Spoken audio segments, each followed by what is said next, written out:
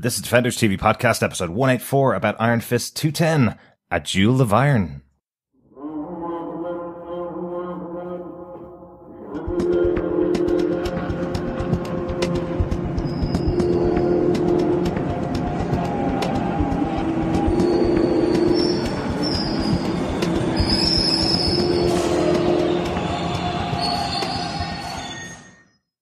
Welcome back, fellow defenders, for the final time this season for Iron Fist, season two, episode 10, A Duel of Iron, and possibly the final time for a while we'll be playing our theme tune from Mississippi MacDonald.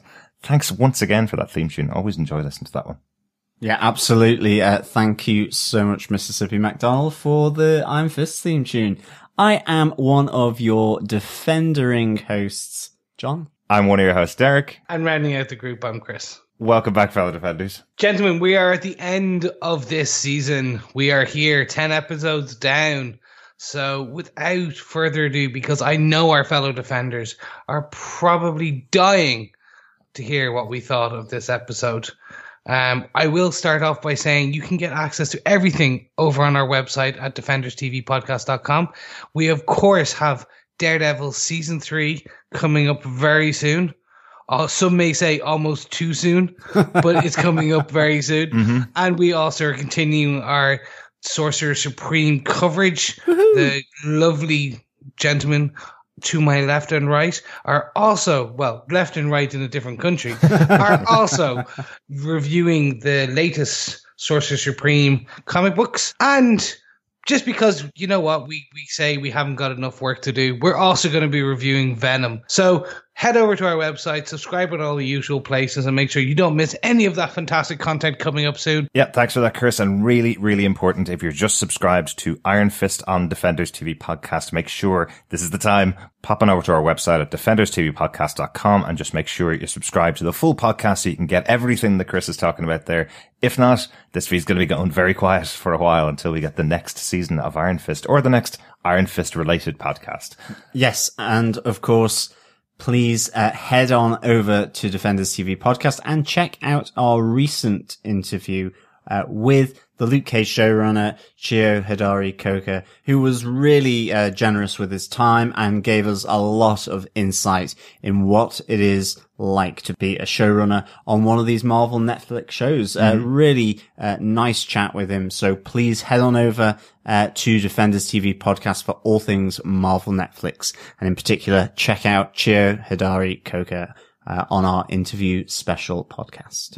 But yes, without further ado, we are getting into our spoiler filled review of Iron Fist season two, episode 10, a duel of iron. would you say that was like an emerald jewel or a sapphire jewel you know like or just a big rock of iron I must say, yes, as soon as I said it, I kind of realized that uh, I came across more as a, a duel rather than a duel.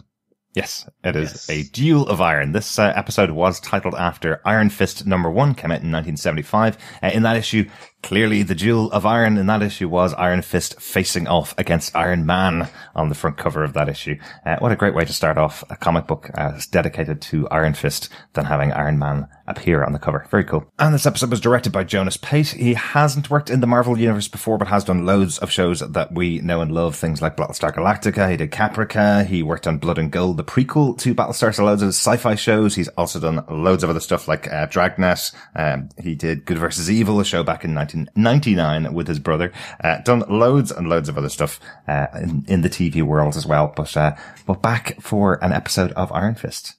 Excellent stuff, yeah. Battlestar Galactica, fab. And that is all there is to be said on the matter.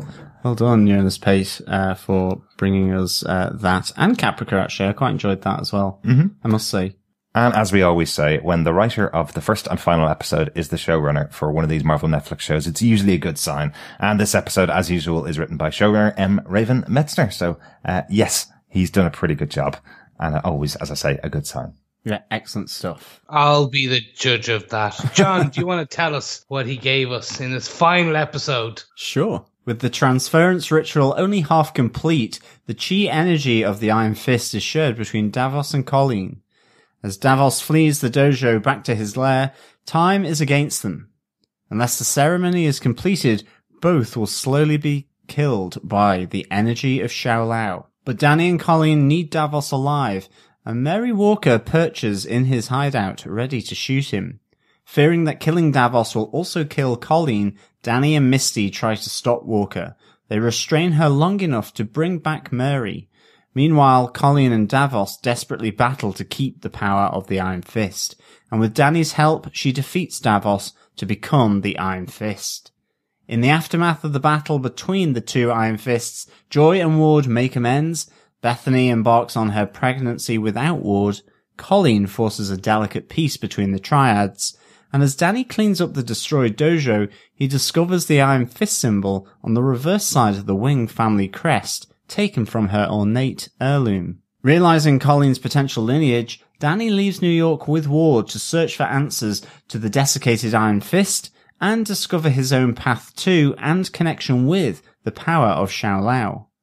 Months later in New York, Colleen returns to the streets of Chinatown as the new Iron Fist, combining her power with her family's sword. While in Hokkaido, Japan, in a bar, Ward asks a local gangster about a man named Orson Randall. But as things head south, Danny intervenes, summoning the Iron Fist as he channels the power through two handguns. Ah, so good. Definitely a way to leave it, wasn't it? I know. I, I wanted the other three episodes. I'm sorry, I'm being greedy, selfish, uh, and all of everything in between. But um, I was just like, I absolutely want to see how he got Orson Randall's handguns, how the power came back, probably through the handguns, uh, but just fab. Loved it. And then the credits rolled, and I was like, no.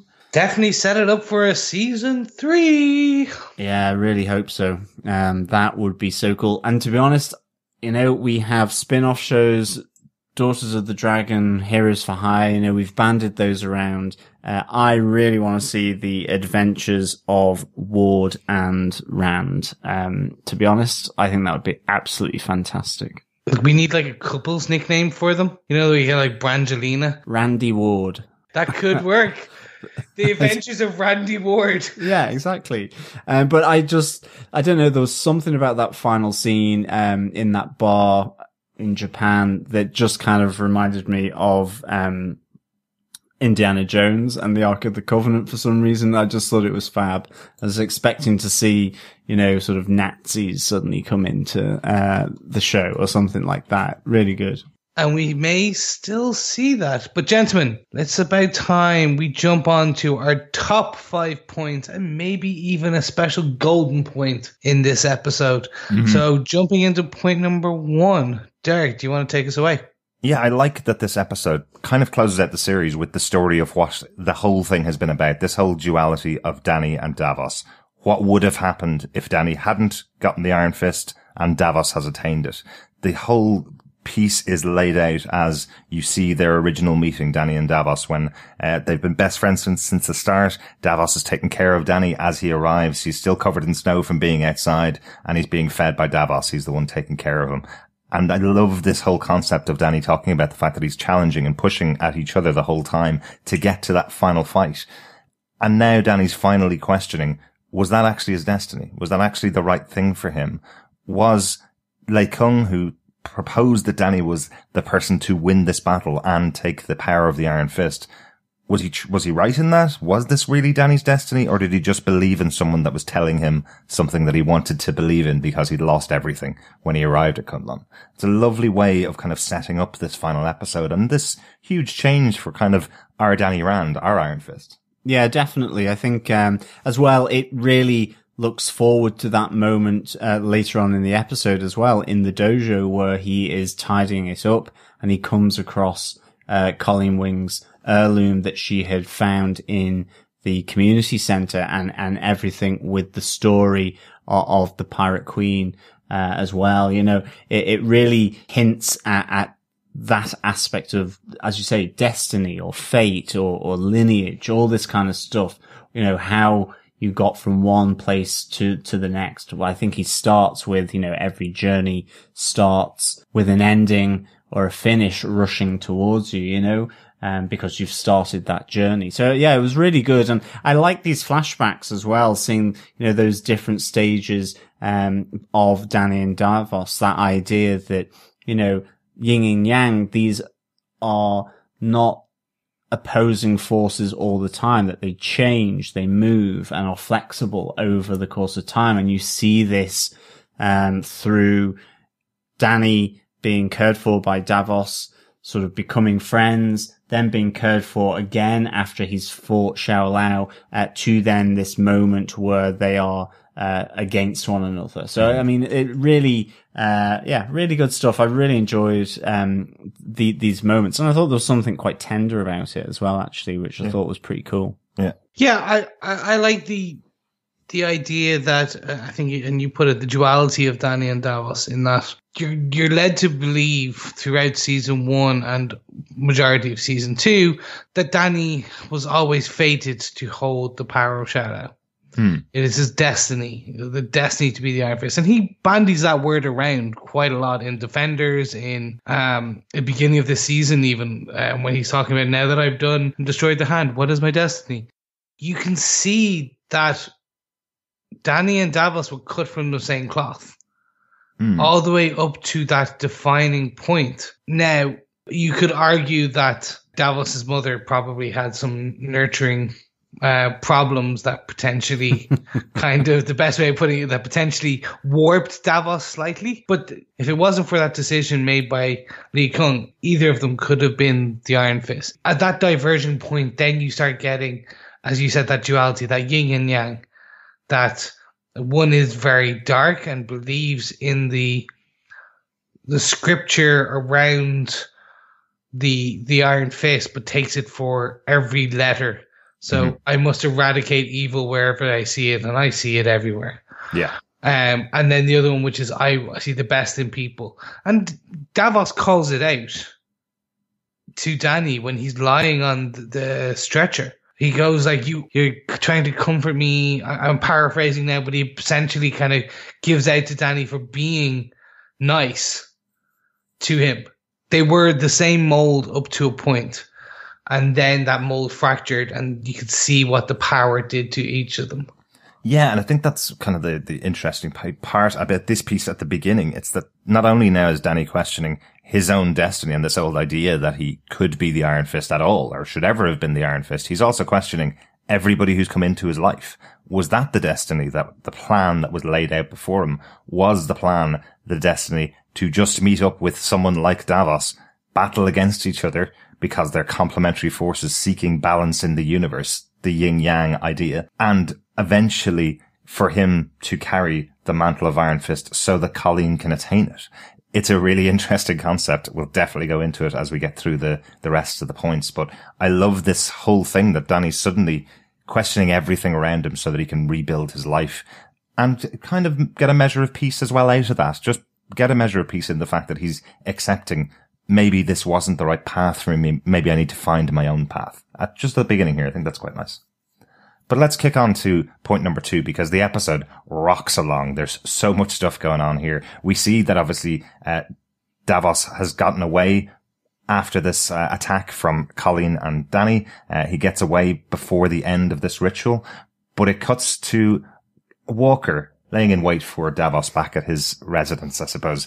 Uh, I love the opening here with, uh, with Misty Knight trying to break out of that prison that, uh, that Walker's put her in just to get her out of the way and all we hear from outside is Walker singing the mamas and papas. Like it's just a nice, you know, average day yeah. for Monday, Monday. You know, it's just a normal day. Why is it such a bad day today? Because I've got a bit of work to do. And the work that she's got to do is cleaning up the body of Chen, Chen Wu, dragging him across the floor. yeah. A great final screen moment for Chen Wu, the man that we yeah, complained absolutely. that we didn't see his name on screen for many of the episodes. That great final moment as he's dragged away and his blood soaked notebook that he's been using to get all of the members of the Golden Tigers killed is just lying left on the floor in the pool of blood left by his body. A nice little touch there for the director. Yeah, well, it was nice. It really was. Um, I must say, I loved the moment that Davos escapes, uh, back to his, his lair where, um, he uses the Iron Fist and you just see all the furniture going like crazy in the dojo silhouetted. Mm-hmm. I thought that was really nice touch. uh, see, seeing that. Um, yeah, this is, this is really nice. I, I like how she stakes out the place. You know, she gets up high into a perch, sniper sort of ready in, in a sense, uh, waiting for him to, to come back. Um, and I kind of like that little Alamo kind of moment where they're both hunkered down. She's like, I can stay here all day. I've got plenty of time, nowhere to go, and I've got a load of bullets. Yeah. yeah. Um, and Davos is the, I do like his kind of retort. You know, she's firing bullets. He starts firing breeze blocks back at her, uh, using the Iron Fist. I, I, thought that was really nice uh, touch because I kind of felt it added that additional element. You know, Iron Fist punches through doors. It can block bullets. I like that idea of it using uh, or being used to projectile sort of objects across the room, very mm. like a gun. You know, he was using it like a gun. So I thought that was pretty cool, um, for sure. But yeah, seeing Misty, uh, sort of locked up by, by Mary Walker as well. Mm-hmm. It's a shame Walker has those feelings towards Misty. I didn't think she would get locked up by her, you know, but nonetheless, I can, I can see that. I, I like that she uses her own Iron Fist to try and break out of the door. Um, takes a bit longer than, than Danny or Davos have shown in the past, but mm-hmm. nonetheless, uh, a l- nice little reference to a more mechanical Iron Fist. Yeah. Walker seeing the mamas and papas is a Bendis pull. Oh, right. From one, I'm thinking, I'm assuming his Daredevil run. Probably, yeah. I know Mary Walker obviously is much more associated with Daredevil. Uh, yes. The, the, the, character hasn't really been seen in much of Iron Fist, as we've mentioned before. So, most yeah, likely. it's been called out on Twitter. I remember seeing it a few times. Mm-hmm. It's a callback to that Bendis run. But additionally, because it's the Mamas and Papas, the band is made up of four people. They sing. What you get is in that panels, I think it was something like she's singing Monday, Monday, and you have her different alters talking and singing while she murders and just kills and does her thing. Nice. It was just a nice nod, I think, from Raven.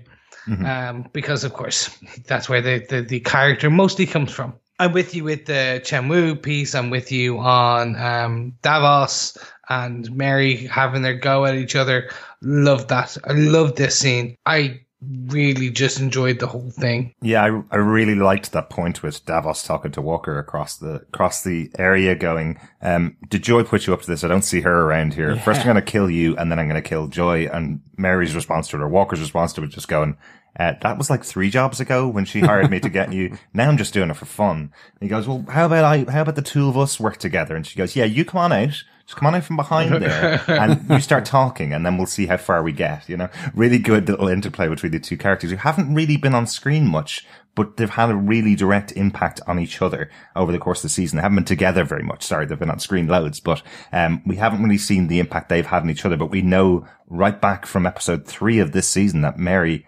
Walker has a huge problem with Davos and she knows how dangerous he is and she's not going to let him get anywhere close to her again. Really cool use of the character and really cool use of them. But it does take Misty and Danny working together to take down Mary. I like th- that we do see Danny using his proper fighting skills against a really trained professional this time. He's not being taken from behind like he was when he got knocked out and dragged off to, to have the Iron Fist removed from him. He is fighting very strongly against Mary, but we get the introduction, as John kind of referred to, the iron arm of Misty Knight being used in here and getting destroyed by Mary. So we have now a Misty without her wonderful Rand assisted arm. Yeah, I love it sparking up actually. Mm-hmm. I just love the way um the the lines are delivered by by Misty Knight. Just that okay, Rand Tech, let's see what you can do, you know. And I, I like at the end where, you know, we get that reference to getting an upgrade because obviously her arm's been sparking as, uh, as Walker's blades uh, have kind of been cutting into it. So she, you know, she makes that reference again in an upgrade and, um, also then just sort of referencing the comics that she'll bling up the arm, mm-hmm. uh, possibly bling it up uh, in reference to the, the more sort of gold, um, arm that she has, mechanical arm that she has in the comic. So that, that was really, uh, really nice. I thought to just get that little reference. And a nice little throwback to our discussion back in uh, in Luke Cage, where we saw her get the arm, and you guys were talking about, you know, you wanted to see another version of it. This is, ju- is just a prototype. We will be getting another one the next time we see uh, Misty Knight.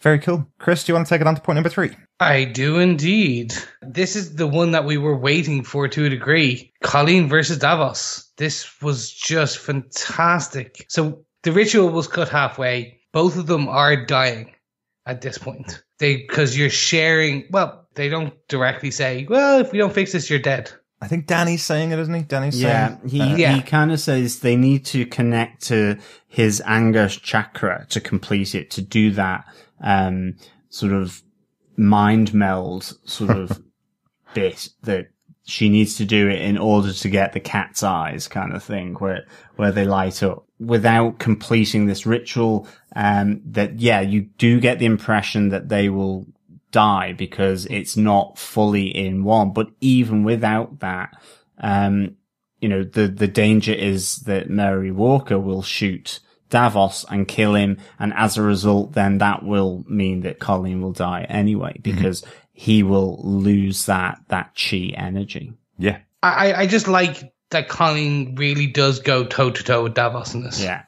Like she to the point where we get that beautiful she flares up her fist while he he's doing the jumping uh, punch down with the red iron fist Mm-hmm. and you get that shockwave that knocks them apart I love that too. Yeah, I love that you don't see the hands actually touch. You see the fists coming close and the energy of outside the fists rebounding off each other, like as if they're kind of opposing magnets, uh, opposing forces pushing each other away. It's it's a cool idea. Really kind of reminded me of that Iron Man Captain America moment in Civil War where the uh, repulsors are blasting off Captain America's shield and blow the two of them backwards. You know that kind of thing. It's that really iconic moment between the two of them, but kind of obvious that that would happen as well. They're they're they're kind of using the exact same power on each other. They've both got half of it. So it's not the Iron Fist up against somebody else. It's the two of the same powers going up against each other. yeah it is telling that she needed danny and I, I i don't mean that in a bad way what i mean by this is that davos was more powerful Now, we learn that Colleen's more trained, she's more skilled in Kung Fu. Danny was Danny. He was the original Iron Fist that we know of. He has abilities elsewhere. But Davos was stronger. Davos was starting to gain an edge on her. Um, and I, I find it telling that Danny needs to help slow down Davos so that Colleen can complete the ritual. I think what's important here is Davos is obviously the person who's been using the Iron Fist more than anybody else. He's used it more than Danny has at this stage. The power has consumed him. That's why he's more powerful using it, certainly. This show has all, has always been about Colleen and Danny since the middle of season one. It's always been about the two of them coming together and fighting this piece. What we have in the dojo, basically, when Colleen is feeling the power of the Iron Fist for the first time. She's have never had any preparation at all for this, remember? So she's feeling the burning of the dragon inside of her. And Danny's going, yeah, that's what you'll feel. But he never told her that beforehand. She's crippled over in pain on the floor and Danny's going to her, you're going to have to stand because this is what having the Iron Fist is about. And he goes, I'll go and take care of Davos and I'll bring him back here. And she goes, no, I'm going with you. Um, the two of us will take him down together. Yeah, I mean, it's even after the fight, she says, I'm still getting used to this. And irrespective of what may happen now between the two of them. So, like, you know, she's certainly got a lot of uh, catch up. And I think in terms of using it and handling it, and I, I think uh, that's probably, as you say, it, it's kind of getting used to to that. And plus, yeah, as you say, she's kind of makes the point that we will bring him down together. Um, I I really enjoyed um this fight because I think it's got so much history, so much beef to it. You know, Davos has always uh, seen Colleen as a member of the hand. Yeah. That Danny has been wasting his time in, in effect has betrayed Kunlun by, uh, being with her even. Yeah. Um, he, he calls her a hand whore, uh, at the start of this series. So, you know, this has huge amounts of rivalry and, and bitterness between the two even, you know, going back to the awkward dinner between Danny, Colleen, Joy and Davos, when it was all kind of so polite, that tension between these two. And I just think, uh, it's a really great release in this final episode of these two going head to head, toe to toe, and fighting for the Iron Fist. You know, these two Iron Fists coming together. I mean, I really thought that the fighting under those arches uh, was really epic, actually. I thought it was a fantastic setting underneath the, I don't know, the railway arches or, mm-hmm. or whatever it was, was just amazing. I, I, just thought it was a great setting for, for this. Yeah, I agree with you completely because do you think there's a callback here to when Danny fought Davos in season one when in, he was in the park under the arches as well? Different mm-hmm. arches, but very similar. Yeah.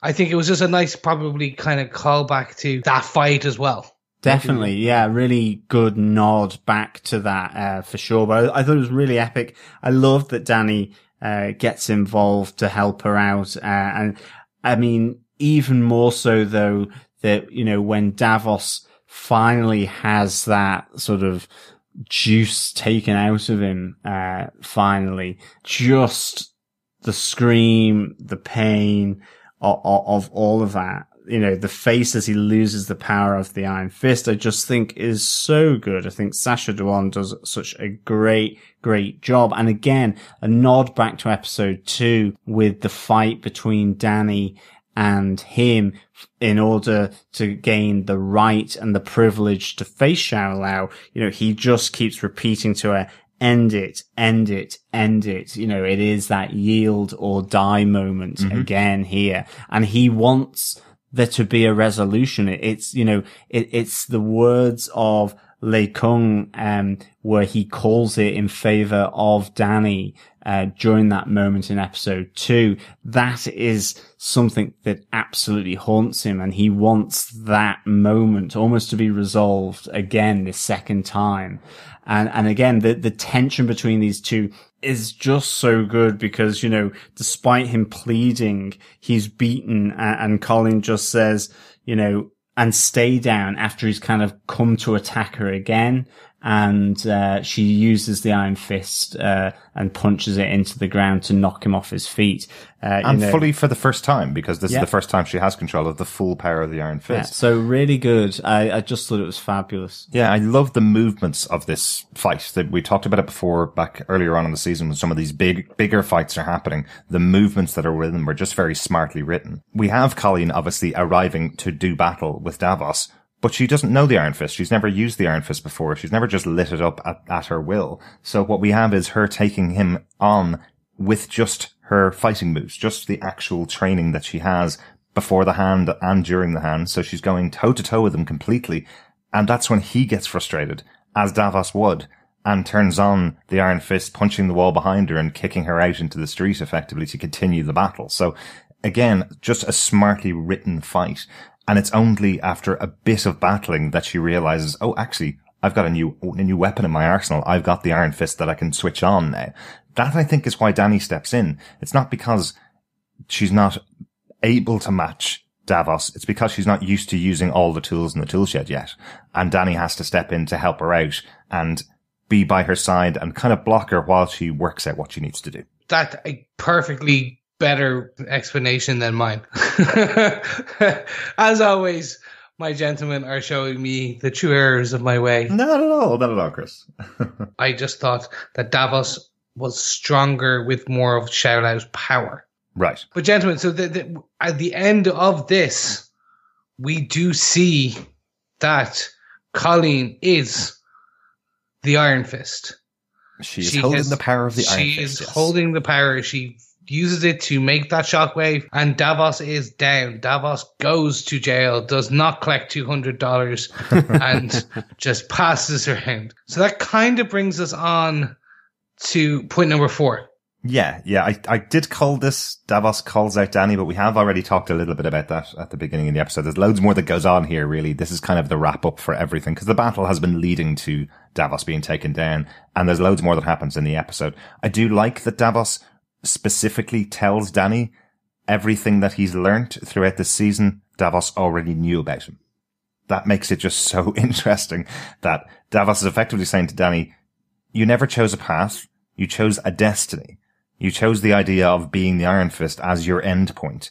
Whereas I chose a path. My path is when I get the Iron Fist, I'm going to clean up the streets. I'm going to take care of every bad Yeah. person out there. But you never chose that. At least I did that. Don't criticize me for not choosing a path. Everything went to hell because you decided to get the Iron Fist and use it. Yeah, yeah, absolutely. That was really nice. I love, uh, he says, um, you know, I picked a path, I walked it.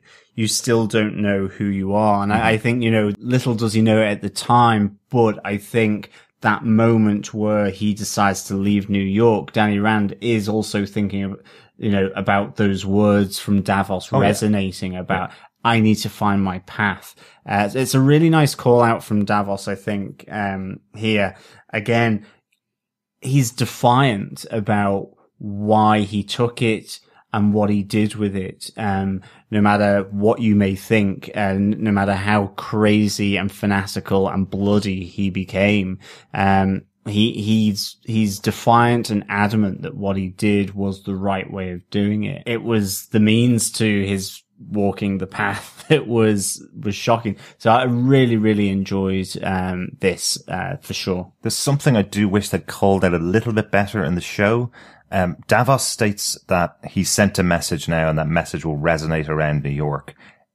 I think if we had another, another couple of lines in there during the season, or maybe if we had the other couple of episodes that we hoped we would get when we started out the season, that we get our full 13 episodes, I think we should have seen what Davos going on his mission had done to the streets of Chinatown.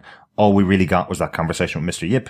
And then Davos flipped on him and killed him immediately. We didn't get to see the people of Chinatown feeling safer. We didn't get the pe- the people that were behind the Golden Tigers going into hiding and doing less crime because he was around. We did see them gather together and go after Davos, but didn't necessarily mean they were changing his ways. I just like to have seen, you know, maybe Davos get a bit of reaction from the public on the streets, declaring him like the hero of Harlem for Luke Cage, declaring him the hero of Chinatown for what he's doing cleaning up the streets. It didn't feel like we got enough of that in the show for Davos to feel so justified in saying to Danny, by me taking this path, I did something good or something good came out of it and a message to being sent.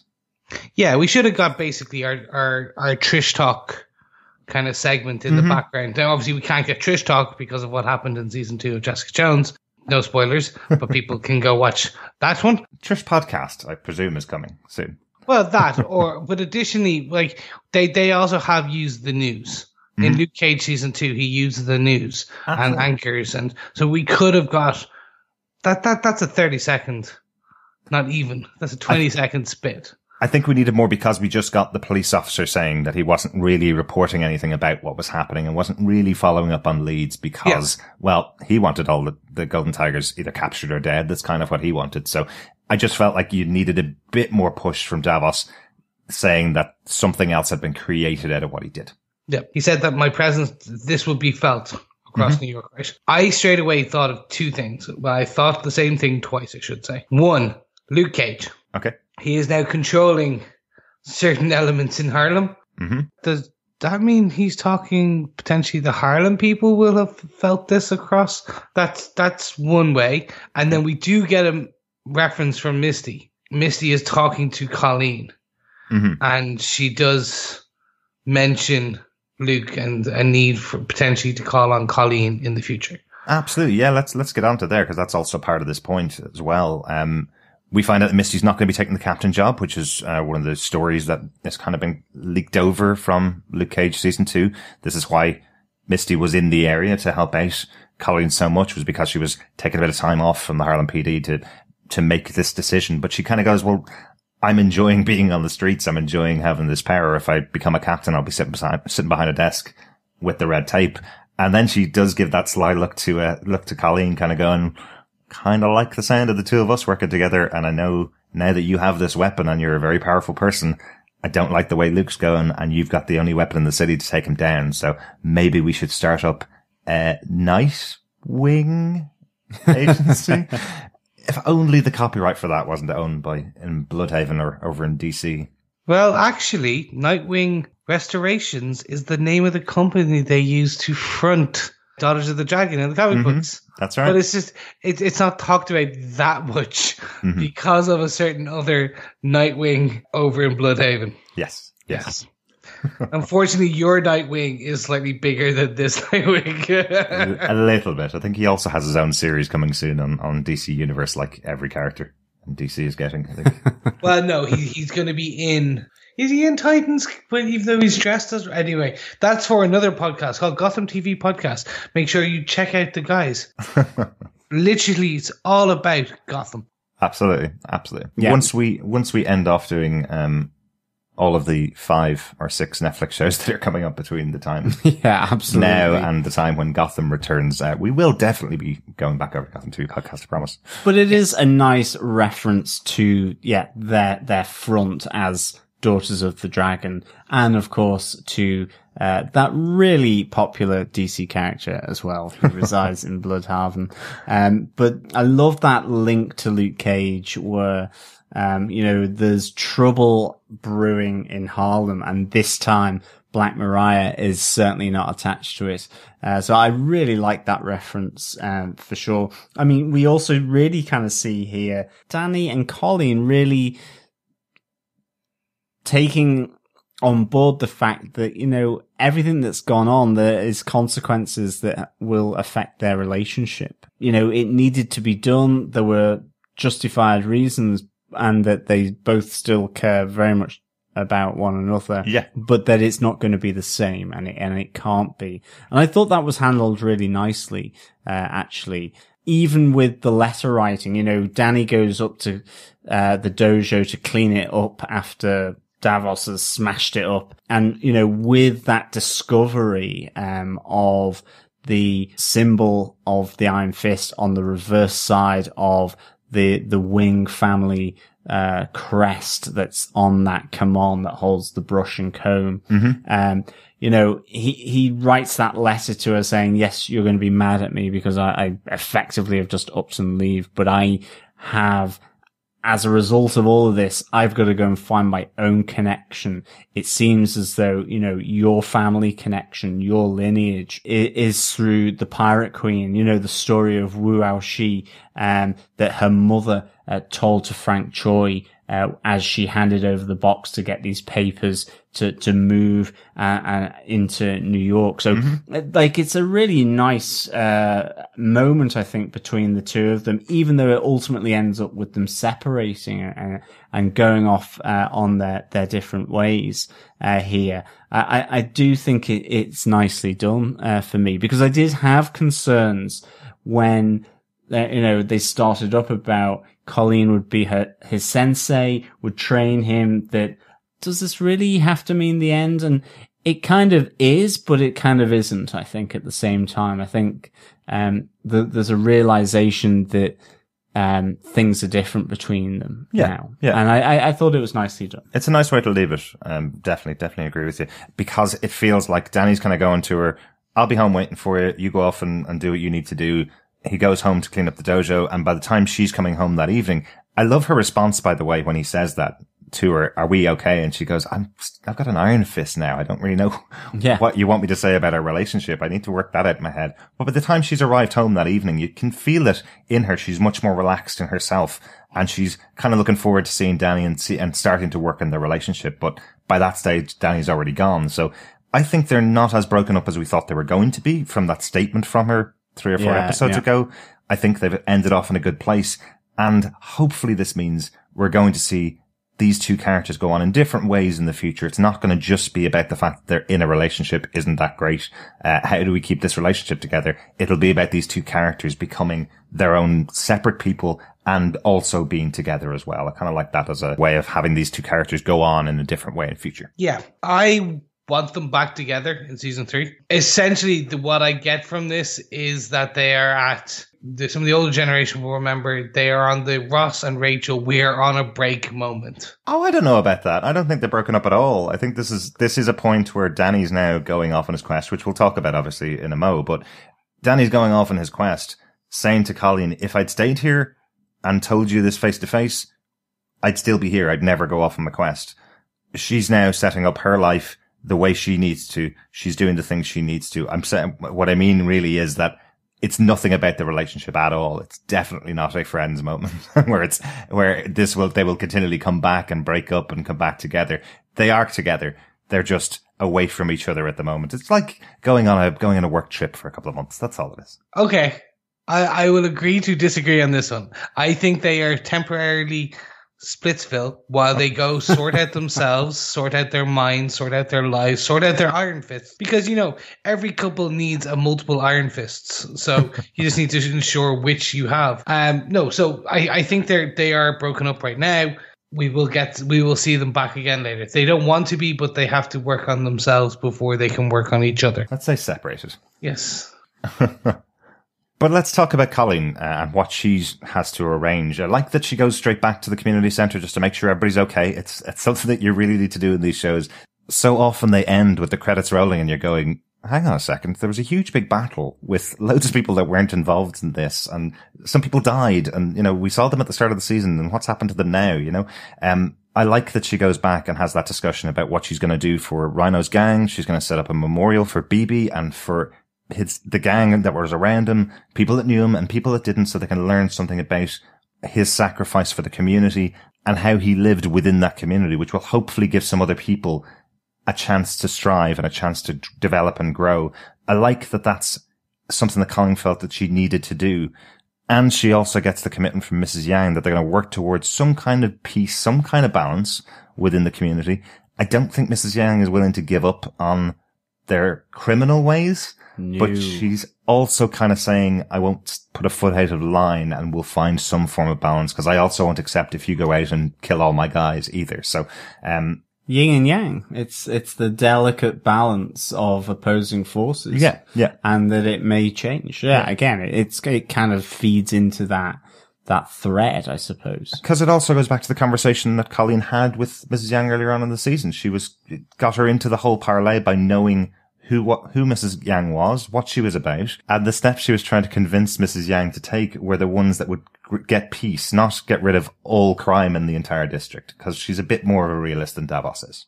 Yeah, definitely. Chris, any thoughts? Yeah, I, I'm I'm intrigued by this because what I want to see is Mrs. Yang now is essentially a criminal kingpin. She is both uh, leader of the of the Golden Tigers and the Hatchets. Seeing Colleen and her go toe to toe, I, I I'd be very interested to see where that goes in, in in the future. But I'm hoping we see Mrs. Yang in Daredevil season three. Yeah, I was wondering that as well, to be honest. She is now a big power player. Yeah, Mhm. and it, it's like with um, the head of the Italian crime uh, gangs as well. You know, these two groups have have been displaced, um, and you kind of do get the sense from Daredevil season three that he is going effectively. You know, Daredevil smash a bit. I think um, he he really is not taking any prisoners. So you do wonder whether um, she will come into the crosshairs of Daredevil as well. Mm-hmm. Yeah, I'm hoping there's going to be a little bit of a tie-in with those characters because a lot of them came in very late in the show and set up where they exist in this in this world towards the last couple of episodes of their shows as well. So hopefully we'll see that in Daredevil season three. Or Punisher season two. Maybe. yeah. That's the only other the only other thing Yeah. I could think of was Punisher goes on a uh, a Mrs. Yang and the Italians and a Kingpin and he basically it is now Frank's turn to take down all the mob. Mhm. But it'd Yeah. be interesting. Definitely. Speaking of taking people down, we get Walker returning to visit Joy. Mm-hmm. And I, for a split second, went, "Oh, Joy's dead, dead now." Oh yeah, Yeah. yeah. That's where I was like in my head. I'm like, "Oh, yeah, nope, she's gone. She's she's a goner." Okay, Yeah. and then we get this beautiful spin on the head where we see Walker is now actually she knows that Joy understands her. She Mm. doesn't want the money. What she wants is joy and joy's power and influence. And I'm like, oh, where are they taking this character in it? This is the thing about, and I'm gonna, I'm, I'm kind of kicking myself uh, in the others. I'm spoiling what I'm going to be saying later. Is they set up so many of these characters in this episode for me going, oh my god, I want to know what happens next. Yeah. Oh yeah. Literally cliffhanger moments. to a degree. Definitely. I was like, really need these three other episodes. Um, I really, really do. I, I was the same. I thought Joy was gone. I thought we were going to get, you know, the, the third alternate coming out from, from Mary Walker here at this moment. You know, she even says herself, she's aware that it's there. You know, she always thought that Mary took her way out of, uh, trouble in Sokovia. Um, and, and Mary always thought that Walker shot her way out to, to safety in Sokovia. But actually she knows from the, the redacted documents or, or the full reports that Ward got her that there is this third alternate. I was absolutely convinced that when she says, you know, um, and a trigger like a gun being pointed at the heart, like Joy is doing, was going to see this third alternate uh, come out. I really wish there's part of me that really wishes that I'd seen it. I would have quite liked to have seen the third alternate. You know, this is certainly um, a character where the yin and yang doesn't apply because she's got three. She's split in three rather than 2 Uh, I really like that idea that she is slightly different from this concept that Danny is talking about, about opposing uh, forces, that she has this third person, uh, and third alternate as part of her DID. And I really thought that, um, yeah, Joy was gonna probably get strung up or something by this. I really like the kind of oblique references, you know, to Bloody Mary in terms of saying that the report said it was a bloody mess. And then the idea of, um, you know, I suppose disease or, uh, and typhoid Mary with, you know, poison is what poison does or something. Um, Nice. Yeah. you know, kind of an oblique reference to the, the, the typhoid Mary alternate. So, so maybe there's four. Who knows? Maybe there's more than three. It's the question becomes when she when does she come back? Season three. You think it's just just season three of Iron Fist? Do you think potentially we see her before that? I think it's interesting that they used her here. I think a number of people have mentioned that she is a Daredevil villain. She's a person known for being in Daredevil. We've just had her origin story in Iron Fist, which is, which is great. You know, this idea of getting this third alter that didn't come out during Iron Fist. And we could see that manifested over in Daredevil as a Daredevil villain coming up in just three weeks time. So we'll know pretty quickly. Um, I think that's a possibility the only reason I don't like that we didn't see the third, third alter in this season is because we don't know when she's coming back. That's the only reason I don't like it. I love the idea of having Mary and Walker opposing each other throughout the series and then Mary stepping back and letting Walker take over. Even in this, uh, in these scenes here where we saw Danny use all the techniques to get Mary to come back out so that Misty can take Mary away. What we hear from Walker when she comes back into Joy's apartment is, Mary didn't stay very long because she was so scared she let me back out again, you know? So they're, in, they, they're balanced now. The two of them are balanced now, but what we're learning is that there is possibly, now that you get a balance between those two, somebody else is going to be coming out. The question, the other question I have on this here is the conversation she has with Joy. It's very interesting because she lays a couple of, couple of little clues. I like the idea that she says to Joy, the reason firstly I want to use you is because you know both sides and you can manage both sides, which is a little technique that we saw uh, Joy use earlier on in the season. I love that backfired on her. this idea Yeah. that she was trying to get it, get her to pull Walker back out. It worked, but hell, now you've got Walker in your house with a gun pointed at you going, I'm going to make sure that you work for me now. And that other thing of saying, I want to use your power, influence and reach. I think that's more about dealing with this other alter if it does come out that Joy will know instantly whether it's Mary or Walker or a third. And when she does, she'll have the power influence to take care of her. But I'm just not really too sure. But it's a nice synergy between what happened at the end of season one when Joy relinquished the company and ran off into the kind of arms of Davos to get revenge on her brother and, uh, and Danny. And this season she's ended off with completely out of, uh, out of her own hands. She's ended off in the arms in a way of, uh, of Mary Walker saying to her, well, now you're mine. I don't want your money. I want your influence and power. Yeah, It's quite cool. Very interesting. Let's move on to point number five because this is the this is the the show that we all want. The Adventures of Danny and Ward.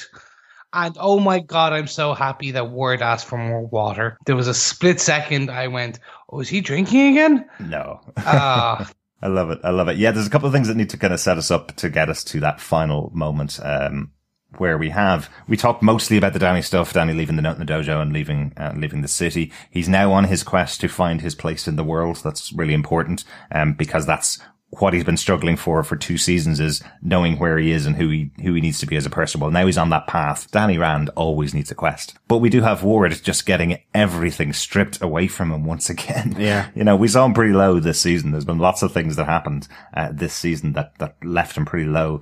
He does get a moment to speak to Joy, but that conversation between the two of them, there isn't a more brotherly, sisterly conversation that I've seen on TV for years, where he's going, he's apologizing to her, he's saying, "I'll always be there for." you. And she responds with, yeah, whatever, do what you want to do. You always do that anyway.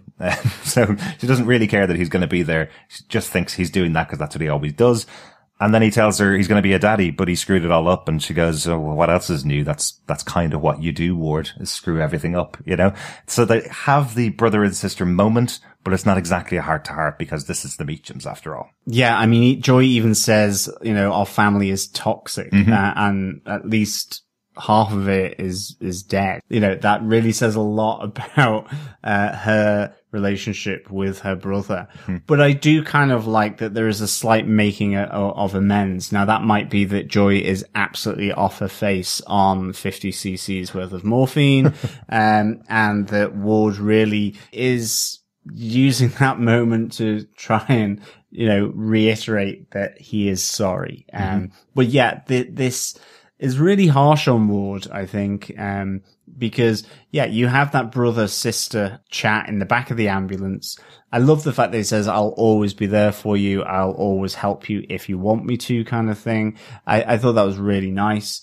Um, but also then, you know, he tries to go to Bethany to say that he will be there for her as well, in a sense, as well as finally taking on board her message as his sponsor, you know, that he opens up and, and finally admits and talks to the group, um, that he is uh, an, an addict and that he doesn't know who he is himself. This just plays really nicely, I think, in, in two ways. You know, Ward has always kind of projected skepticism about the process, uh, about with his bringing of Cronuts, um, having all his, his lackeys uh, and his interns to, to do stuff around this. Um, but secondly, I think, um, you know, Bethany kind of just says that after hearing that truth from him, she needs to move forward with this pregnancy on her own. Mm-hmm. Um, that's maybe not to say that something won't happen in future or whatever. Um, unlikely, I think, from those kind of last words between the two of them. But nonetheless, you know, again, it's another stripping back, another kind of dagger in the heart of Ward. Again, he's being open, honest, truthful, and in that moment, it hasn't helped him. But I think this all kind of then links to the fact that, you know, when he goes to stop Danny, or at least find out where Danny Rand or the Rand Enterprises corporate jet is going, he ultimately is persuaded by Danny that he also needs to find his path he needs to find the way he's going and who he is. Yeah. And I do think that that is done in some of the funniest ways, um, with, with Danny doing that reflective questioning back onto everything that Ward says. I thought that was really, uh, really funny. I just thought it was a really nice moment for Ward that, you know, the rejection from Bethany, the, the morphined up joy being pretty honest and brutal mm-hmm. really sets him into accepting what Danny says and, and accepting that he can actually go with Danny to find out more about himself, more about his stepbrother, effectively, um, in, in Danny Rand and his friend now, um, and find out about himself. And I, I thought that was really nicely done. I'm so glad they've left Ward here there's a certain TV show that I'm not actually going to mention the name of for the first time ever, uh, that uses this particular plot point for almost every character and did for the first three seasons. Someone that is remorseful about the fact that they may have used drugs once or drank a bit too much at a party once. And therefore, if they apologize to their friends and family, everything's okay and we can all get through it together. Uh, what we see here is a bit more of a realistic take from Ward. He's finally gotten to the first step on the program that he's been shunning for months and months and months and ignoring for months and months and months. And he's t- not told everything's going to be okay. And he's not told, yeah, no problem. You can join my life and you, we will bring up this baby together. He's told it's not fate. It's not destiny. It's just something that happened and I've got to deal with it. He's not told by Joy, great, you say you're going to be there for me. That's what I wanted to hear from my big brother. He's told, well, you're always going to do what, what you want to do. I want you to step off, but you're not going to. So whatever you want to do, it's grand. I love that it's not as tropey as those other shows that have used this mechanism in the past because that's not real life. And this, if there's one thing about Ward that we like seeing, it's him experiencing real life. Um, even though he did deal with a father that kept coming back from the dead over and over again. Which, which is real life. I'm just going to put that out there. I, I, I'm with you. I'm with you on that. As bad as you feel for Ward, Yeah. Bethany says no to him, you're like, oh, that that was tough, but it's the truth, and that's like that's what I really enjoyed about this element, which was Ward is left shell shocked when he goes to the airport, mm-hmm. but that's life. Everything does not get wrapped up in a ni- nice little bow after ten hours of your life. The fun thing about this was, and I think the bit that Raven wasn't afraid to do, which is he came in he shook things up. Some showrunners might have been afraid and said, okay, we'll put everything back together the way we found it. We took all the toys out, we played with these toys, and we're going to put them back in the way we found them at the end of the season. Mm-mm, nope. No, like he's he's took them out, shook them round, brought them out, played with them, and went.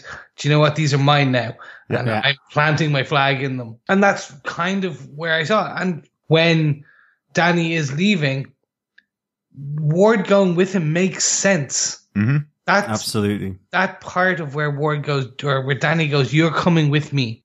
Yeah. And he's like, no, you need to do this too. And again, we get this brotherly love that sounds kind of more wishy washy than I wanted, but it is the strengthening of the bond between the two of them. Well, that's the thing. Like that, that bond has been building throughout this season. We saw it a few times when they have some really good moments together. After everything that went on last season, they have developed a friendship here. Probably Danny was the only person he was going to talk to that would have actually listened to him. And then he finds out that Danny's at the airport chartering a private jet to leave the country. Who knows where and who knows when he's going to see him again. Ward specifically says he's lost everything in this episode. That's his speech to the addicts group is that he's lost everything.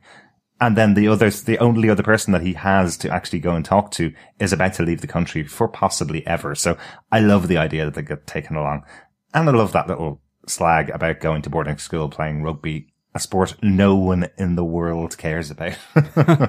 you can certainly see it from the American perspective. Why go to a boarding school in America and not, and not play American football? Why would you play rugby? Nobody in America even knows what rugby is really. well, it sounds as though he may have gone to another country. he may have, yes. Um, but of course, as well, we do have to clarify that Ward does mean here rugby union Possibly, John. and not league. Let's not complicate that. No, exactly. There's multiple forms of rugby and still no one cares about them, people. this is coming from a man who lives in a country where rugby is potentially one of the biggest sports or second biggest sports. And I still don't care. I prefer my American sport. My American football, the true football, the one football, go Saints go. Nice. Let's get on to our sixth point because we did mention at the beginning of the season if we did have the opportunity to have a sixth point, it would be our golden point, just due to the rules of scoring for um, kung fu and for martial arts in various sports. So there you go. So we do have a golden point because this episode is so filled. Months later, it's called. Because these are the post-credit scenes, really, aren't they? These are the things that happen in a Marvel movie that as the credits roll, you go, oh, Colleen's actually now patrolling the city. yeah, absolutely. Very cool. I've said it once. I've said it twice. Uh, this will be the third time I say it. It just got my juices flowing for three more episodes and I cannot wait for season three. I hope there's a season three, um, for sure because, um, you know, seeing that, uh, Lily White Iron Fist of, of uh, Colleen's and her glowing blade as well. Fantastic. I loved it. I'm in shock that they did this. And I, I mean this in the, the nicest possible way. The fact that they decided to show Colleen in her blue and white comic ac- accurate tracksuit, the the white fists and glowing blade. Well, no, that's not comic accurate. But anyway, she got her super suit. Yeah. This was mo- the moment I was like, yes, this is beautiful. It's just so cool to see. So cool to see. Yeah. Yeah, no, it was really, really good. Yeah, and then, you know, again, really want to see, uh, Ward and Danny and their adventures. Uh, as I say, I really got, uh, that Indiana Jones vibe, I think, um, of the two of them in the bar at 4 a.m. Okay, they're not downing shots like, uh, uh, Marion Ravenwood, uh, but certainly I loved the vibe of the two of them in the bar. Ward suddenly getting threatened by a guy that looked immense. Now, okay, he would probably be able to play rugby. Huge, huge guy rears up behind the, um, the kind of gangster guy who has had connections with Orson Randall. Um, and obviously they're after these two as Danny stands up to defend Ward, uh, unleashing, you know, and this is kind of on the other side that his two iron fists with his dual guns as well. You know, the dual fists, the dual guns against these men, uh, from, of Orson Randall's looking to get their property for their employer back. So really, really cool. Um, I loved how, yeah, the, the bullets took out another bullet in, in midair. That was pretty sweet. And they looked like sweet. chi-filled bullets as well, didn't they? they Oh, everything was cheap. it looked definitely. like the power was coming possibly from his new dual iron fists threw the guns into the bullets, sending them on their merry little way to, to blow, blow another bullet out of the air. Two bullets hitting another bullet in midair. Deadly stuff. Yeah, Really central. And it just looked very cool when he puts those guns back in his pocket and says, right, just don't try that again. It felt like a, re- a real John Wayne kind of moment, felt like a real Western moment. really liked that from, from Danny. Uh, nice touch as well, as you mentioned earlier on, Chris, that we do have a really grumpy looking Ward sitting at the bar at 4 a.m. and you think he's going to get another shot. You think he's back on the alcohol, but actually it's just a glass of water that he wants. And Danny's sitting over the other side of the bar with a, uh, with a beer in hand, just chilling out. So not as spiritual Danny as you may have expected in this moment. He's kind of just letting Ward do his thing. It seems like they're, they're, have a really good partnership going on. He's got the long coat as well Mm-hmm. of Orson Randall. The duster. Yeah, yeah, really cool. So I'm going to call it. I don't think Danny's got his powers back. I think the guns Yeah. are chi filled. I think yeah. that's why.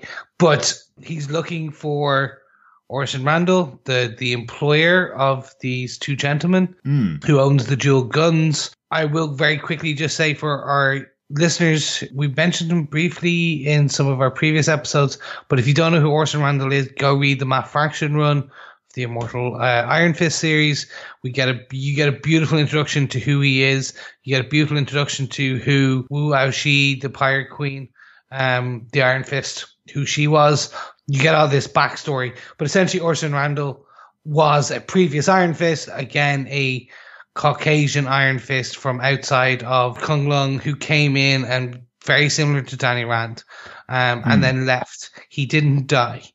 So this is again a, oh, there is now another Iron Fist out there who, there is still an Iron Fist out there who is alive with the Iron Fist power. hmm So very interested to see where this goes because now we are getting into territory that is outside of any, I would say, or many of the comic books. This is not the Matt Fraction run. This is not going to pull on many runs that we know of. I don't think so anyway. Well, I think they're they're going to remix a lot of the stuff as they do, and all of these all of these shows. You know that yeah, that they really do take bits from all across the history. You know everything from the names of the episodes this season to things that we've seen throughout the season to characters from other comic books like Mary herself. The referencing of Orson Randall here, I don't know whether it's going to have any major connection to the former Iron Fist Orson Randall or whether it was just a little Easter egg played in there or put in there. Um, I understand this week we've heard that they have about three or four more seasons of Daredevil planned if they're willing to keep making them on Netflix.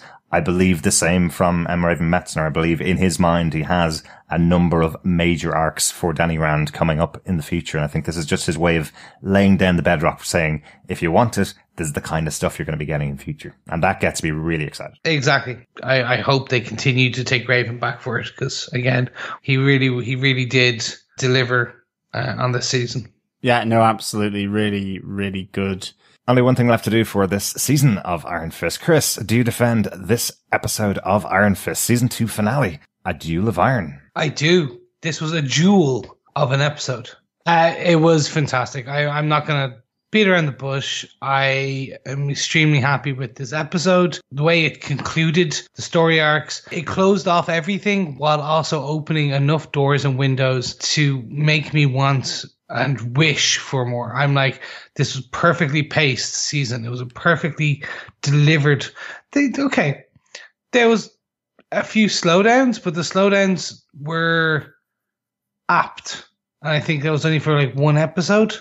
I, I don't think it, even bothered me that much based on what I'm recalling of what I've said in my defense. Overall, I really defend this episode. It was fantastic. One of my top three closings. This is the episode 13 for this season. This is definitely up there in the top three. Um, I completely defend this season and this episode. Excellent. Excellent. John, do you defend season two finale of Iron Fist? I do defend uh, the season finale of Iron Fist, uh, episode 10, A Duel of Iron. Uh, I give this five Orson Randall revolvers out of five. Nice. I thought this was a really, really good closing. Uh, I think, as Chris has said, opens loads of intrigue, loads of doors into uh, a season three. It also is really mindful of itself as an episode in terms of the previous nine that have gone before. So you have the fight with Davos and Colleen, you know, the two that have been at loggerheads. You, you have this tragedy of Ward, uh, with Joy, with Bethany. You have these flashbacks, uh, and the tragedy ultimately of Danny, um, and, and Davos. But that, you know, these characters have so much similarity and you're kind of seeing this with Danny and Ward as well as they head off uh, on these adventures. You have Colleen uh, using her newfound powers, uh, and you you you have uh, Misty here, and with Walker. I, I just thought there was so much that spoke to everything that had gone before, and really threw open the doors as to what a season three could do.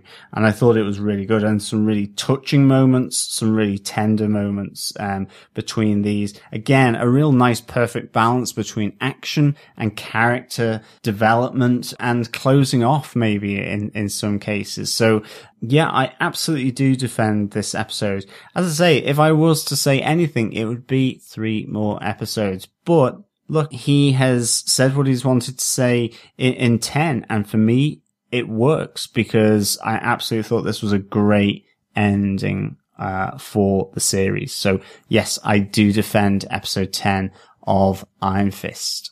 Excellent. So Derek, do you defend this episode of Iron Fist? I absolutely defend this episode of Iron Fist. This season has been fantastic, and it's just because we've got somebody with the right hand on the rudder of this ship that is Iron Fist what it feels like at the end of this episode, I mentioned that these final scenes feel like the post credit scenes you get in a movie. And what those are supposed to do is get you excited about the next season. What it feels like is he left everything on the table and then went, and look what else we've got coming up for you. While I do have in my mind's eye, the other three episodes that are missing is episodes featuring Danny and Ward traveling around the world trying to find Orson Randall that definitely wouldn't be what they'd be actually doing um, on the show. Unfortunately, we may get some flashbacks in season three to that, but this is really going, what's the best possible place we want to see all of these characters in season three? It's right here. So let's commit to it and say this is what we're going for next season. And hopefully they come back and hopefully they have a bit more budget and get the 13 episodes uh, for the season.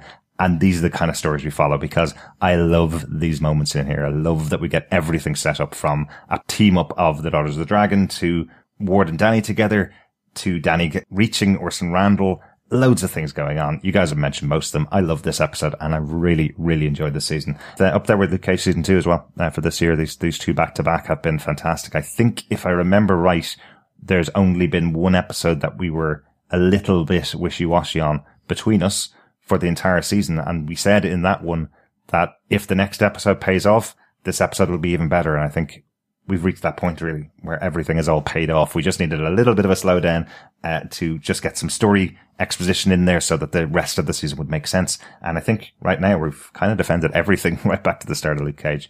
Really, really enjoyable. Let's hope uh, Daredevil can keep up this trend. Yes, definitely. I'm, I'm I am hoping it continues. Otherwise, who knows? Matt may stay dead. Gentlemen, should we move over to some feedback? Mm-hmm. So our first piece of feedback comes from Jeff Childs over on our Facebook group. Those final scenes, Colleen fighting with the Iron Fist and lighting up the katana, then Ward and Danny in the bar, Danny lighting up both hands and guns and bullets. yes, Jeff. Yeah, we're right there with Yeah, you. This definitely. is just like, ooh, oh, that's cool. Oh, that's cool. Oh, that's cooler. Oh my god, that's amazing. Literally, it was like that Drake meme. It was just like better, better, better, best. Absolutely. Thanks, Jeff, for that. John Higley goes on and says the last two episodes of this season had some of the best heart pounding scenes from any MCU Netflix show. So damn good. Completely agree. Really fab you loss. Guns, bullets, hands lighting up, swords lighting up, fists lighting up. So cool Faces lighting up as yeah, well. Yeah. smiles being cracked, uh, and yeah, just really, really good, good stuff. Absolutely. Uh, Praline Prelim, Martha says, absolutely loved this season and seeing Colleen take the mantle and her fighting skills was amazing. Can't wait to find out how Danny got the guns and got both hands to light up. It left me wanting more. Really enjoyed this season and can't wait for season three. Thanks, Praline. Jamie Young wrote in to say, I absolutely love everything about this season the pacing, the conflicts, the character development. It was everything I wanted, and some things I didn't even know I wanted, like Colleen getting the Iron Fist. Davos and Mary slash Walker were fantastic antagonists. Mm-hmm. Everything wraps up so nicely, but also leaves us with so many enticing things for season three, like Colleen's family history, Typhoid Mary, Davos' potential redemption, Joy and Ward being a family again, Ward becoming a father, Danny's new and improved powers. I'm conflicted about the shorter episode count because for once the pacing didn't drag for me. Artistically it may have been a wise choice, but I was also so into this season. I wanted it to keep going. I really missed those three episodes. I feel cheated. Yeah, feel your pain. We're right there with you, Jamie. Yeah, I think I said back at the end of Luke Cage uh, season two that if the writing is that good, like it was on Luke Cage season two, and you give them 13 episodes, give them 13 episodes. The writing for this season was so good. And I don't think it's because it was given 10 episodes. I think if it had been given 13 episodes, M. Raven Metzner would have done a good job with those 13 episodes as the new showrunner for the show. So it just feels like we were, as an audience, we were deprived of three great episodes that we could have gotten. Yeah, it, it does feel like that. Completely agree. I think artistically it sounds uh, and looks and feels like a wise choice that has been done here. But when you have that ending, you just want three more episodes, even if it doesn't make any sense. You know, I wanted to see an episode where the third Mary pops out and says hello, probably chops off a few heads or, or kills a lot of people.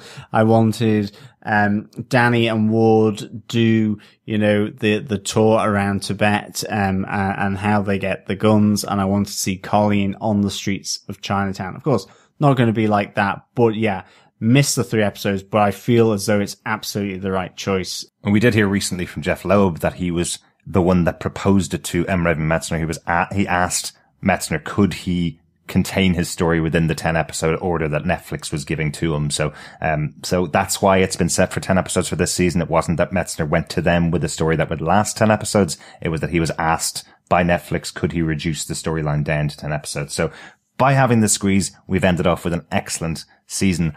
Again, I feel if we got the other three episodes, uh, we would have had just a 13 episode great season. So, uh, like we did with Luke Cage. Thanks so much for that, Jamie. Yeah, thank you so much, Jamie. Alex Anderson goes, holy shit. Wow. I have to say that was one of the best season ending episodes of all the Marvel Netflix shows. First, Ward name drops Orson Randall. Then Danny has two guns and two fists. Incredible. I love the idea of Colleen being related to an Iron Fist. Very nice move by the writers and her fist lighting up the katana was epic. Overall, I thoroughly enjoyed this season's pacing, action, and overall story. I thought 10 episodes worked well, though I really want more now. Bring on season three. I'll take Matt Murdock for now, though. Also, keeping Davos alive was good. I hope he can see the errors of his ways at some point. I'm also really glad to see that the daughters of the, sorry, I mean Nightwing is definitely a thing. Keeping Mary's third alter still a secret was slightly frustrating. I really wanted to see what that's going to be, though I can understand not revealing everything. More reason to look forward to season three, I guess. Yeah, completely agree. I really was hoping to see the third Mary pop a little psychotic head out. Um, but no, um, hopefully season three, maybe Daredevil season three. Possibly, Who possibly, knows? yeah. Um, I mean, it could be that looking at this origin is a nice shortcut for the Daredevil season. So it's like it's straight in, uh, killing people. Mm-hmm. Yeah. Or doing her thing, I And say. and they'll have that little uh, that little asterisk in the bottom corner of the screen as she arrives, going, "Check out Iron Fist episodes, Yeah. season two, episodes one to eight for her origin story." Love to see that. Love to see them do that one, one time just for a bit of a laugh. Uh, thanks so much for that feedback. Uh, Salima Kisler says, "I'm very surprised that Davos survived the season. He's not one really to just roll over. Mary Walker was awesome this season. Great addition to this universe. Hope she shows up in other shows or team up shows." Multiple Iron Fists operating simultaneously is very intriguing for future IF seasons. Those last two scenes really felt like post-credit scenes. I hope we get to see how Danny and Ward's bro trip got to that point. I can't wait to hear the podcast about Danny's latest version of the Iron Fist skills. You know, as we mentioned earlier of the podcast, it is quite funny that we actually had four iron fists or iron arms in this episode when you consider that we also had Misty Knight taking out her iron fist to the door, doing a move that Danny Rand would have done in season one with his iron fist. So, Yeah, so many iron fists. I think I did see a meme from people that weren't particularly happy about this choice, uh, on, on Twitter with Oprah Winfrey going, and you get an iron fist, and you get an iron fist, and you get an iron fist. um, but I think it was a great choice to kind of finish off the season. If you don't have the time to build up all of the mythology of Kunlun, get people excited about it. Show them what you could be doing if you get more seasons, you know? Yeah, definitely. I mean, it was certainly jam packed with uh, skills on toast here. Mm-hmm. Uh, really, really enjoyed it. Yeah, I, I was um, actually more surprised that Joy survived the season after Mary Walker let herself into her apartment. Um, Davos, you know, I still think there is a steel serpent um, arc in, in, in him there. I, I, I think they've not really fully covered that actually, uh, in that sense. Uh, I think there's more to explore of Davos as the steel serpent. I, I, I really do think that. And I, I think more about him kind of just descending into pure evil, really, really being the bad guy. Because th- there were a lot of times in this season where there was a bit of empathy with him or, you know, the understanding, certainly as they explored uh, some of his backstory and why he got to where he was and why he wanted to conduct this ritual on Danny Rand. So, um, I'm, I'm glad he survived though. I, I, I really am. Yeah. But, uh, yeah, thank you, Salim, so much for the comments. Uh, it's really good to have them in. And if we get any more feedback in before this episode releases, we're going to drop it in right here. So we won't have Chris, unfortunately, for any other pieces of feedback to come in. But thanks so much for everybody that's dropped in their feedback so far. Yes, unfortunately, I can't make it. But just imagine me agreeing with you with anything you say, because most likely we all fellow, like all fellow defenders, are on to the same wavelength about this season. Of course, if you're saying something crazy, just imagine me just nodding my head or actually shaking my head in disgust. As I just said there, Chris has gone off now, so it's just myself and John for the final few pieces of feedback that's come in since uh, we recorded our last episode. Hello. Our first piece of feedback came in on an email from our fellow defender, 108 Sage, uh, to feedback at defenderstvpodcast.com. 108 Sage says, Hi again, fellow defenders, the 108th Sage here. Again, probably after you've already finished episode 10. First off, I'll apologise for my tendency to write in either just under the wire, too late, or not at all. Just under the wire, I think, this time. Yeah, absolutely. Don't you worry, 108 Sage. You have made the cut. Mm-hmm. You've made episode 10. Yeah, always write in, even if we can't pick it on the podcast. We always love hearing from you anyway about it. She goes on to say, now onto the important stuff. Wow, season two of Iron Fist has been amazing. I thought season two of Luke Cage was without doubt my personal favourite of the Marvel Netflix TV seasons, but now I'm starting to wonder if it'll fall to this one. The shortened season might end up being the deciding factor, one way or the other, depending on how the last episode goes, but just wow, so good so many good elements. Typhoid Mary was done better than I've ever seen her done in comics. So many good Daughters of the Dragon moments, so good to see Danny's progress from what I felt was an unrealistically immature starting point to facilitate the plot of Defenders through that awesome cameo in Luke Cage season 2 and now even further where he has learned at least in part how to control his rage and petulance two qualities I've never really seen in the 616 Danny Rand also Joy Meachum one of my favourite characters in season 1 and her arc here has been great. Although I about had a heart attack when Davos almost killed her. And then when I saw all the blood around her head, the plates in my skull started aching in sympathy. And finally, I'll just spend a moment on the new Iron Fist. At the end of episode 8, I was in a confused land of ecstatic worry. Sorry, I did not see Danny offering the Iron Fist to Colleen coming at all. On the one hand, that'd be awesome, but on the other, would her being the primary Iron Fist in season three of this show in any way delay or derail any potential Daughters of the Dragon show? Because I'm not sure I'm here for that. And so, when Colleen started episode nine by putting Danny in his place, I said, Swear jar sound? Yeah, girl, you tell him. But wow, the last few scenes of episode 9 and Colleen's evolution of acceptance, I'm willing to see her be Iron Fist, at least for a while, so long as we get some good Colleen Wing and Misty Knight action in all further seasons of any applicable shows, which is just as good a time as any to say that I'm fine with any non-canon romances that feel right and make sense for the show, especially if it'll end with Colleen and Misty as more than one kind of partners. In a world where Korrasami is canon, Nightwing can be too. Uh, Kor- Korrasami is from Last Airbender, uh, from those cartoons, so they have a, a ship that was going on for quite a while within the fandom and has now been confirmed as a canon ship. I had to check that one out because I wasn't sure exactly. Uh, but yeah, thank you so much. What I'd say is really good to hear from you again all about your thoughts about this season. I hope you're as happy after episode 10 as you were in episode 9. Um, I think where we've ended on episode 10 is that Colleen will probably be an Iron Fist going into season 3 or into at least her next appearance. But the way this series ends, we do at least see Danny back as being an Iron Fist or having two Iron Fists at least. So. Yeah, absolutely. He's he's kind of upgraded really because he could only get one Iron Fist going um, up until that final episode uh, episode 10. Mm-hmm. But I suspect that has something to do with the guns if obviously the chi and the energy of Shou-Lao has moved over to Colleen Wing, which, yeah, I agree, is completely awesome. I just think it's pretty beautiful, actually. I, I love the different colors that they brought to the Iron Fist over this season with the Davos red, the classic yellow of Danny Rand, and then this lily white of Colleen Wing. Really just very cool, I think. Mm-hmm. So yeah, big thanks 108 uh, for that feedback. Really, really good. Yes, my heart uh, almost stops as well when Davos pushed Joy over that banister or that railing.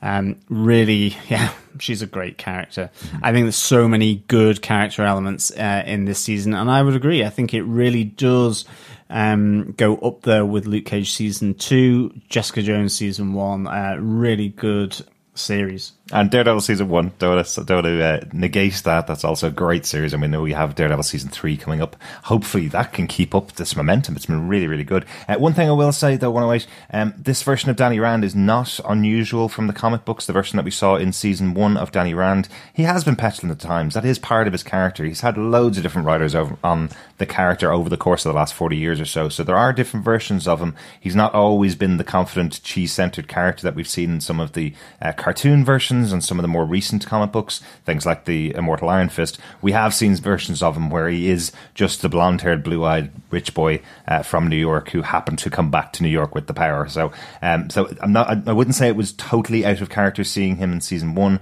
but I do like what they've done throughout Luke Cage and throughout season two of Iron Fist. I like what they've done with them. So, uh, it's interesting again to see these two characters being the central characters of Iron Fist, having Colleen Wing and Danny Rand being central in the show as opposed to just being about Danny Rand and his experience becoming a member of the Heroes for Hire, really, which is all that would lead to if you didn't have any other good characters surrounding him. That's all. That yeah, absolutely. I mean, I, I, think it's been a good character development um, across both seasons of, of Danny Rand. I, I, I, kind of agree, uh, 108, that, you know, a little uh, too immature. I think that's more of it, but um, certainly, yeah, the character arc has been fantastic. So mm-hmm. thanks again, 108, for the feedback. It really uh, really is appreciated. And as I say, even if you can't make it to send us in feedback during the time that uh, that we're recording Daredevil, send it in to us anyway. We'll always talk about it, so, and we'll respond to you by email if we uh, if we don't get you on the podcast.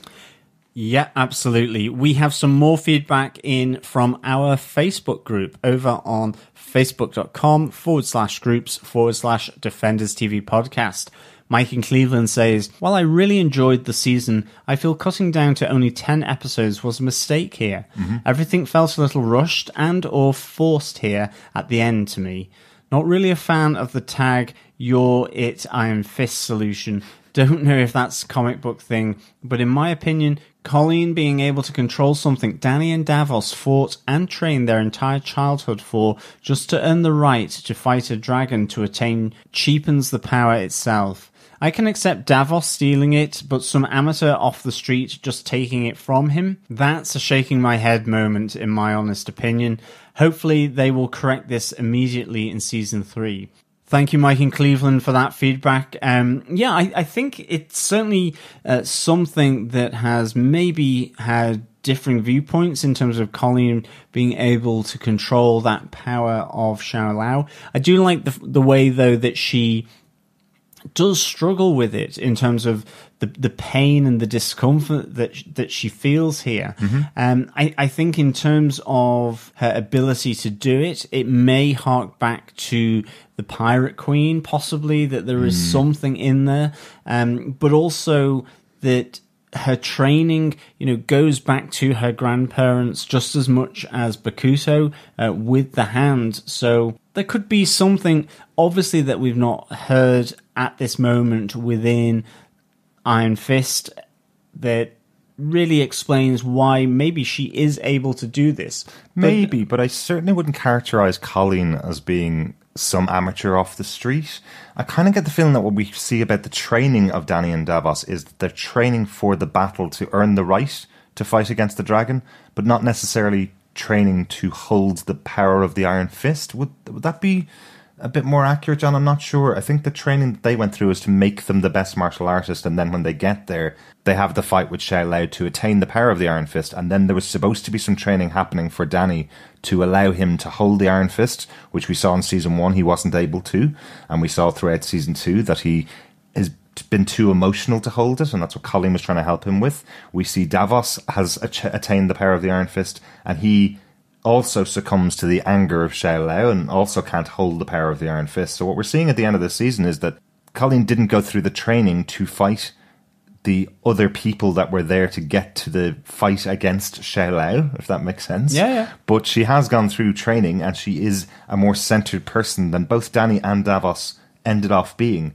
with that power. So I think what we're supposed to be learning here is that she's not somebody just off the street. She is somebody that has had many, many years of training. Whether that's something that they will explore in season three, very likely they will. They will give us more detail about her past and her history with Kunlun if that's what they think is needed to kind of justify her being able to hold this power. But right now, everything that's been told to me in season two tells me that she was given the power by Danny and can hold it because she is a more centered person than both Danny and Davos are. It's kind of where I'm seeing it. Yeah, no, I, I, think that there has been training, and I think she is able to deal with the, um, I suppose, psychology of holding it. She, yeah. as you say, she's much more balanced and much more centered, especially when you compare it to Davos and, and even to Danny, who uh, himself acknowledges that he was not able to deal with it um, in in the way that he had hoped. But yeah, no, that's a really good viewpoint, Mike, um, yeah. and and thanks so much for that. It just feels that there's something that's missing from the show that's never actually told us that the guys are being trained to hold the Iron Fist. It never really seems to have underlined that. So it, we may be getting that mixed up with our knowledge of the comic books that that's what the training was. So just want to want to say that that's probably something that we'll see a bit more of in season three. They'll underline a lot of these things that we saw as being a little bit missing from season one and season two. But I think the idea of her taking on the Iron Fist was was absolutely fine. But thanks so much for your feedback, Mike. It's always good to hear another side of the story. We have some more feedback through from Tori Ekanogli. Uh, I really loved this episode, and I am sad it was only ten episodes. My takeaways: Ward is the best. He's always saying what I'm thinking. He totally grew on me this season. I kind of wish Davos killed Joy, not because I don't like her, just it would have been a bold move. I'm surprised we didn't see zombie dad Harold at all. I was totally expecting that and it never happened. Mm. I love how this season really challenged our expectations. And lastly, I have a feeling having Colleen take the Iron Fist may be a way to soften people up to the idea of someone else taking over another hero's role, which is sure to happen after Infinity War Part 2. If one of the main heroes die in the next Avengers movie, I'm looking at you, Cap, someone else may have to pick up his shield. So this may have been done to introduce that idea to newcomers. Just a thought thanks, Towery, for for that. I definitely um, think that's a great kind of idea. Actually, that it it certainly does help uh, introduce people to the idea that you can have um, new people picking up the shields. You know, with Cap, it could be Bucky Barnes. But of course, even like with uh, one of my favorite characters, Doctor Strange, you know, you've had Brother Voodoo take on the Sorcerer Supreme Loki. mantle, and you've had Loki very recently. So uh, it, it's certainly something. There's more through the centuries as well, John. Don't forget. Yeah, so it's certainly something that that that Bond idea of people taking over the role should, you know, I, I hopefully they'll get and and they'll be um, good with. And in terms of your takeaways, I think Ward is fantastic. Mm-hmm. I, I, do know what you mean. He f- comes across as being massively um, human and natural, if, if, you understand my meaning. I, and I really do think uh, it's a great character to have when you you have dragons. And I think that ability, whether they linked Ward to Danny in terms of that addiction towards the different vices was a really nice move actually and I, I, I, must say I really enjoyed that. Yeah. I think yeah it certainly challenged expectations with having Colleen take on the Iron Fist and it was something that I really really liked and yeah who would not want to see sweet zombie Daddy Harold uh, return um, yeah, I don't know how they would have fitted it in, but I must say um, it would have been good uh, to to see Harold Meacham back in in zombie form, and of course, yes. Instead of just a spin out of Heroes for Hire or Daughters of the Dragon, we could get Marvel Zombies spinning out on Netflix. maybe, maybe. I think I was expecting him in the traditional Netflix flashback episode where we see Ward flashback to something rather than just telling Joy how she was treated by Harold. Perhaps seeing how Harold treated him in the past might have been a way to do that. But uh, unfortunately, yeah, we didn't didn't get to see Harold uh, this season. And also to say, Terry and Mike and 108 have all said uh, that 10 episodes feels like cutting it cutting it down was a bit of a mistake. And um, just to say in case we didn't mention it enough on the podcast itself yeah we totally agree with you. Um, 10 episodes felt felt just a bit too short. I still think that raven metzner the, the showrunner for the show had decided that these were his final scenes. So i don't think we would have gotten anything after that if we got more episodes. I think we may have just gotten more episodes in between when Colleen took on the mantle and when ward and danny went off on their search but I would still would have loved to have seen that because this this season has been fab. Most definitely. Um, Robert Phillips also uh, has feedback and says, such a lot of wow, no? Oh, did they really? Very much enjoyed these last two seasons and where we are going in the future. With the heroes on tour, the grand niece of the dragon, Misty plays the blues, and the Meacham Bunch post millennial relaunch. Do you think the Punisher and Davos could team up and become the Sons of Hygiene? um, I don't know, but certainly uh, that would be an interesting team up to see Davos on the Punisher. I suspect Frank Castle would literally use his iron M4 rifle butt and uh, smash that into uh, Davos. I don't think he would have much patience for the impatient Iron Fist. And entitled Davos. Yes, I can't really imagine them working together, but really good thoughts. Thanks so much, Robert. And thanks so much for all of your feedback throughout the season. Been really good fun hearing those. Final word for this episode and this season of Iron Fist goes to Jim Carrey, who says, I finished season two and I am very satisfied. Certainly the most linear and perhaps best rendered Marvel Netflix season yet. Rather than overreaching, the story went deep. I care a lot about each character and every combination of interrelationships. Despite a few gripes, I'll say for the right time, I'm very, very happy overall. Excellent. Excellent stuff, Jim. Yeah, I think overall, we've heard very positive feedback about this season. There's been a few gripes, obviously, on in some groups that were looking for the Iron Fist comic book translated directly into the TV show.